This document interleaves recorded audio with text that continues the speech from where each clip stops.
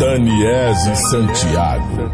DJ Breno e Austin Souza Produções. Que todo dia era